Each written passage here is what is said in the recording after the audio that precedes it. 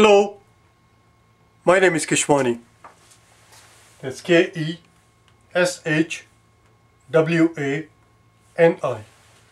Keshwani. We are here because we want to prepare for SAT. We have been solving SAT math problems out of this book here, the SAT Official Study Guide 2020. If you do not own this book already, purchase one immediately. You're going to need it. Today we'll solve some problem that you will find on page number 874. Please turn to it, page 874. Always make sure that the book is in front of you. If at the end of the video you find this helpful and you decide that you would like to work with me and, if, and you wish to get hold of me, you can send me an email at keshwaniprep at icloud.com. Let's begin, shall we? On the blackboard what you see here is what we did yesterday, problem number 16 that appears on page 871. This was a problem that deals with the concept of sine of x has to equal to cosine of 90 minus x. This is the concept we dealt with in problem number 16. And towards the end of the video, I was going to share with you two more examples, two more similar problems that appeared in the book that we had done already. And I forgot to share that with you, share that with you as the video ended. So I'm going to tell you right now this problem again one more time. Number 16 on page 871. I would like you to compare that one with number 36 that we did on page number 613 on day 30 and number 25 on page 477 on day 17. This is a very simple concept and yet I found out that a lot of students miss these questions. I don't know why, but they miss it. Just remember it. Sine, sine, of, sine of x degree uh, this has to equal cosine of 90 minus x. That's all there is.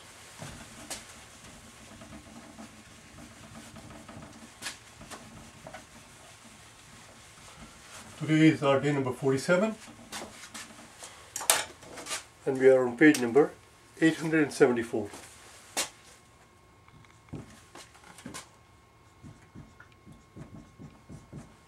Number 17. Number 17 It's a very long problem with a diagram and everything. You can you can read that yourself. Obviously the book is in front of you. You know exactly what you're dealing with. But in number 17, all we have to do is solve this equation for h. That's all it is. Very simple, very straightforward thing here. So 2h will have to equal 25 minus d. And then therefore h would simply be half of 25 minus d. And that is answer number B. Now this problem as you can see there on that page comes in a set of three problems 17, 17, 18 and 19. So, so listen carefully to what I have to say. In this section, in this section there are 38 problems, 30 of them multiple choice, 8 of them are grid-ins. Since there are 30 since there are 30 multiple choice problem in this section, that tells us that the first 10 are easy, the next 10 are medium, the last 10 are hard, 21 through 30. Having said that, there is an exception. The exception is this situation right here. When the problems appear in a set of pair, if it's just a pair, a set of two problems, then the first one is usually easier and the second one is a little bit harder. It no longer follows this thing. It doesn't matter where they appear. Similarly, if they appear as a triplet, the first one is very easy, as you just saw here, very straightforward. The next one that we're about to do is going to be medium. And the last one is going to require some work. It's going to be difficult and a lot of people are going to miss that one. Having said that, let's begin. So not all three of these, not all three of these are medium, even though they appear in the medium territory. The first one was easy, the next one we are about to do is medium, and the last one is going to be hard. Number 18 says that the depth, the depth we are told has to be at least 9 inches. We are further told that the height has to be at least 5 inches. The question simply is,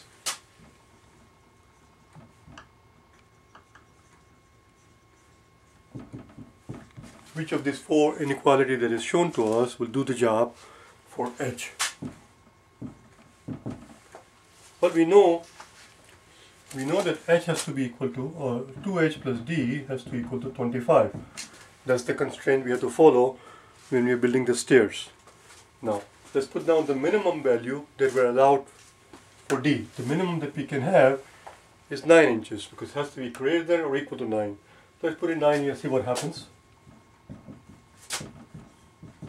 So 2h has to equal 25 minus 9. 25 minus 10 would have been 15, so it's 16. h is 8. The height is going to be 8 inches as long as the depth is at as the absolute minimum that is allowed, which is 9 inches. But of course depth can be more than 9 inches. The depth simply has to be equal to or greater than 9 inches. So if that happens to be 10 inches or 12 inches or anything more than 9 inches, the height has to be less. Therefore, the constraint that we have is that height needs to be less than or equal to, it cannot be, it cannot exceed 8. It cannot exceed 8. And we also know from before, right here, we also know that height has to be more than 5. There you go.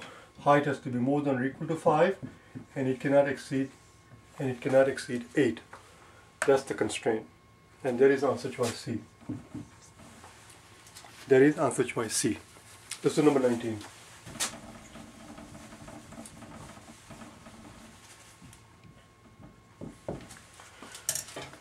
Nineteen is already warned you twice that it's not going to be so straightforward. So in number 19 we are told that the total rise has to be 9 feet. By the time we finish climbing all the stairs, we are required to go 9 feet. 9 feet of course is simply 9 times 12 which is 108 inches. Because everything else is expressed in inches, we have to convert this into inches. We also know that the height has to be between 7 and 8 inches. We are told that. We are told that the height of each step has to be between 7 and 8 inches. Let's write this in the form of an inequality.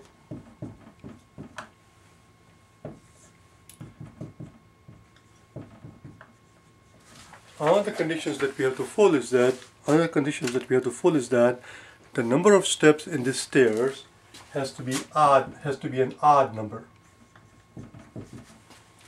In other words, the stairs that we're building, the stair that we're building cannot have 12 steps or 12, 10, 14 steps or 10 steps. It has to be odd number of steps, 11 or 13 or 15, some odd number of steps. That's those are the requirement. Let's begin our work, shall we? So we know we know we have to go up to 108 inches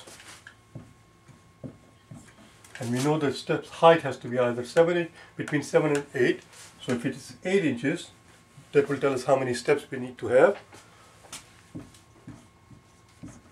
and if it if it is 7 inch the height has been 7 and 8 the height if height happens to be 7 inch this quantity will tell us how many steps we need to build the number of steps that we can build has to be between these two quantities and has to be odd. Let's find out what this is, shall we? Let's divide top and bottom by 8. If we divide top and bottom by 8, 8 disappears and 10 has 1 8. After we take away 8 from the 10, we have a remainder of 2. 2 goes and joins the 8 and becomes a 28. And 28 has 3 3 8s. 3 8s are 24. After we take away 24 from the 28, we have a remainder of 4. And that 4 needs to be divided by 8. In other words, in other words, 108 divided by 8 is 13 and a half. Let's see what we get here. Let's divide top and bottom by 7. 7 goes away and 10 has 1 7. 10 has 1 7. After we take away 10, after we take away 7 from the 10, we have a remainder of 3. What happens to that 3? That 3 goes and joins the 8 and becomes a 38. And 38 has 5 sevens. 5 sevens are 35. After we take away 35 from 38, we have a remainder of 3 and that 3 needs to be divided by 7. So the number of steps that we can number of steps that we can have has to be somewhere between 13 and half and 15 and 3 seventh.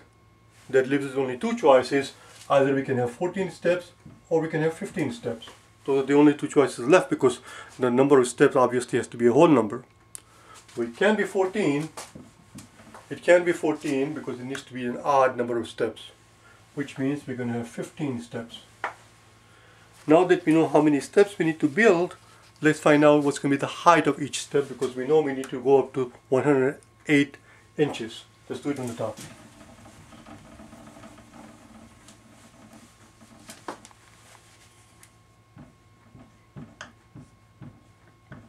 We're going to build 15 steps.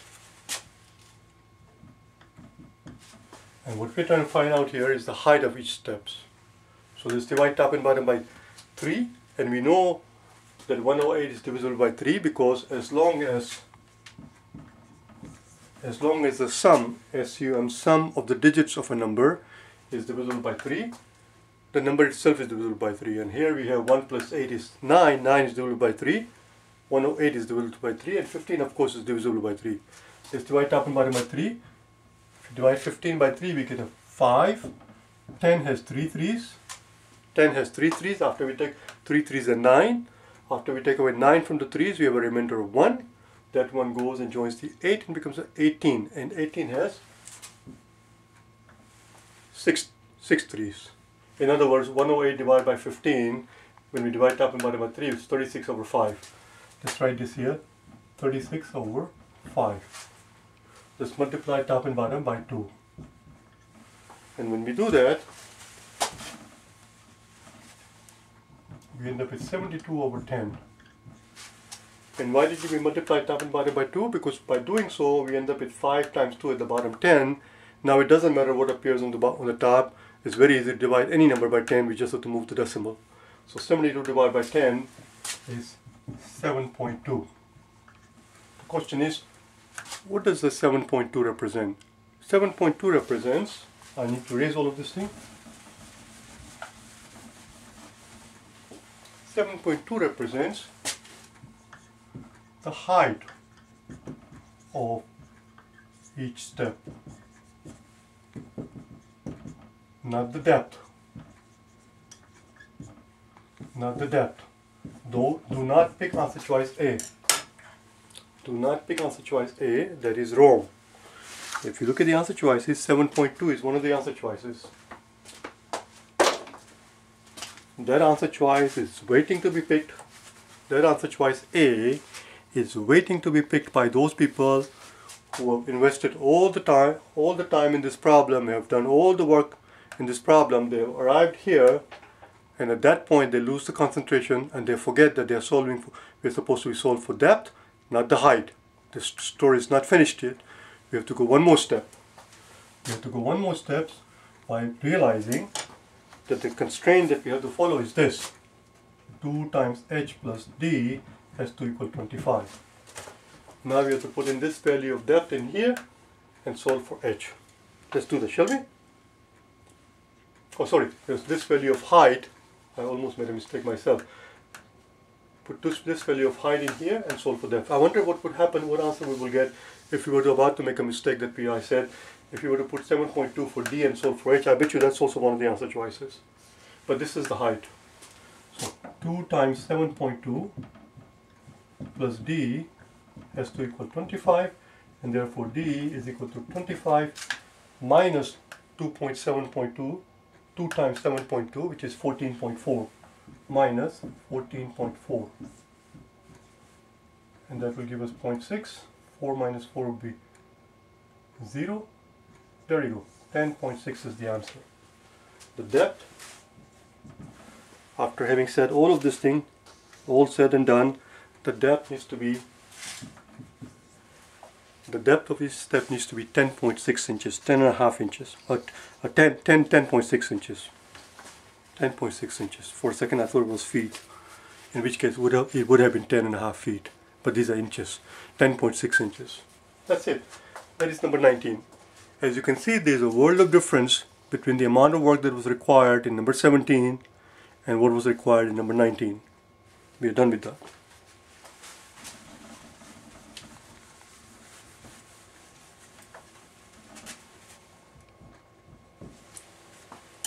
Number 19 was a hard one, it was not medium one. Now we are back to our scale, number 20. We are looking for sum of the solutions. Sum of the solutions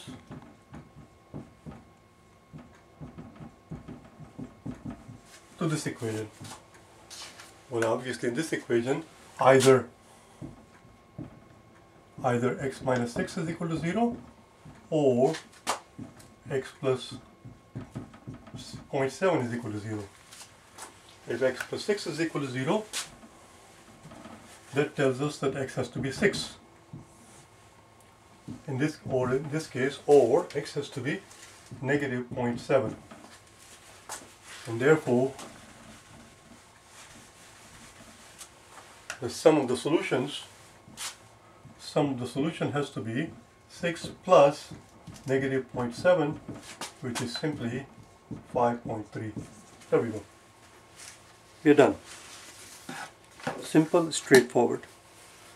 Number 21 number 21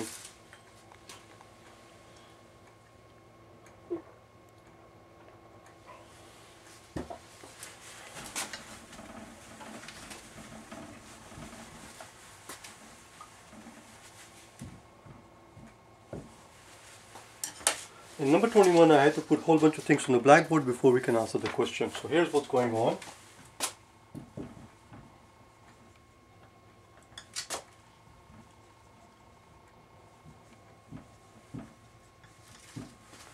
We wanted to find out what is the average weight of a fish in a given pond. There's a pond there. I want to find out what does the what does an average fish weigh in this pond. So I took a random sample. I took a random sample to weigh weigh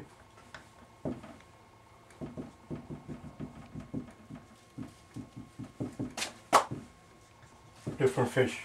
There are several different types of fish in my pond and of course I took a random sample obviously I'm going to get all, of, all, all, all the types that are there. It turns out that my sample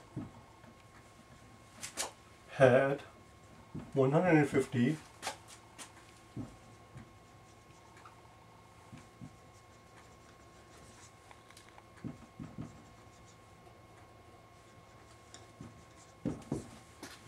my sample that I sample of fish that I took out from my pond had 150 I don't know how to pronounce this thing B-A-S-S bass I believe bass or bass I don't know. It was the type of fish. 150 this kind of fish among all the other types. What they don't tell us is the what they don't tell us is the actual size of the sample. Maybe my sample was 500 fish I took out 500 random sample of 500 fish or 1000 fish or maybe 300 fish or 200 fish I don't know. But it doesn't matter point is among that in that sample 150 of them were this type of fish and I and I weighed each one of them and I found out that of this fish of of these 150 fish 30% weighed more than more than 2 pounds. That is the whole story that's the whole story. Now our job is to read all four of the answer choices and decide which one of them would be a proper inference to make from this story. And as you go through the answer choices, as you go through the answer choices, and I'm not going to go through all four of the answer choices because it will take way too long. As you go through the answer choices, you will see that answer choice D tells us that approximately, approximately 30% of base weigh more than 2 pounds. Do you think that's a reasonable conclusion? Of course it is, because that's exactly what we see here. 30% weight more than 2 pounds. 30% of which fish? Not all the fish from that we, that we took out from the pond, 30% of the fish that were of this type base. There were 150 of them. And 30 of, as, as we start weighing all, all 150 of them, we found out that about 30% of them weighed more than 2 pounds. And that's exactly what this says. It says approximately 30% of base weigh more than 2 pounds. The answer is D. That's the only logical, safe conclusion we can draw from what we have at our hand from the observation that we have at our hand. Number 22.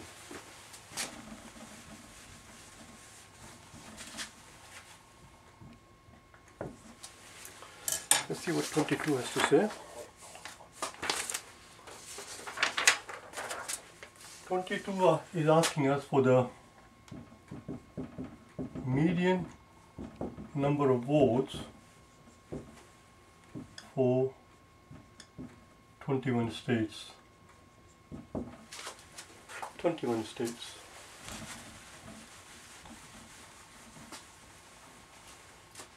What's the median?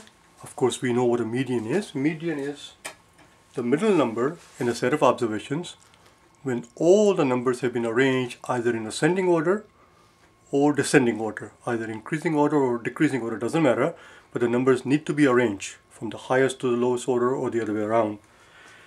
And then if we do that, whatever the middle number happens to be, that's your median. Here we have, lucky for us, we have 21 states, odd number of states, which means we're going to have 10 lowest here, and the 10 highest here, and this is our median. Our median is going to be observation number 11. Because we have 10 here, 10 here, that's 20 and 11th observation. We just have to locate where the 11th observation is. So let's take a look at it. Here are the votes. We have 10, 11, 12, 13, and 15. Good. Because I thought for a second, for a split second, I thought they're going to play dirty tricks and they give 14 as one of the answer choices because in a hurry one might assume that we have 10, 11, 12, 13 and then 14. And they, had they put 14 as one of the answer choices, that would have been quite dirty. But they're not playing dirty tricks. So that's what we have.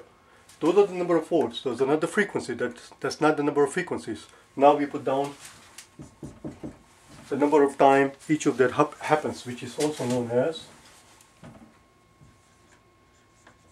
the frequency. How often does it happen? How frequently it happens? How frequently, how many states have 10 votes? And the answer is 4. Which means the first 4 states, when you line them up from the lowest number of votes to the highest number of votes, the first 4, first four of the states have 10 votes each. But that's no blasted good. We don't want to stop at the fourth observation. We want to stop at the 11th observation. So let's go to the next one. It turns out the next four states have 11 votes each. We are up to 8 states. That's no good. We want the 11th state. Let's keep on going. There is only one state that has 12 votes. Now we have to we are up to 9. 8, 4, 4, 4. We are up to ninth state. In other words, after we arrange them up from the lowest to the highest, the ninth state in the order will have 12 votes. Let's keep on going. There's only one state that has 13 votes. That's no good. That only brings us up to 10. We need the 11th observation. Let's keep on going. And then they tell us that there are three states that have 15 votes each. These three states, I left no room for myself. So I'm going to squeeze it here. These three states represent, these three states represent the 11th, the 12th, and the 13th state in order and we're looking for the 11th but they're all the same doesn't really matter the 11th state after they've been arranged in order has has 15 votes therefore the median is 15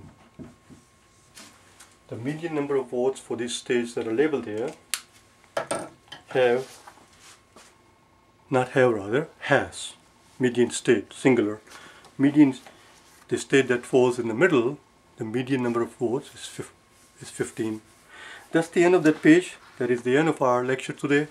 I'll meet you again tomorrow. We'll pick up from where we left off. We'll move on to the next page. In the meantime, if you wish to speak with me, send me an email at keshwaniprep at icloud.com. Alright? Bye now.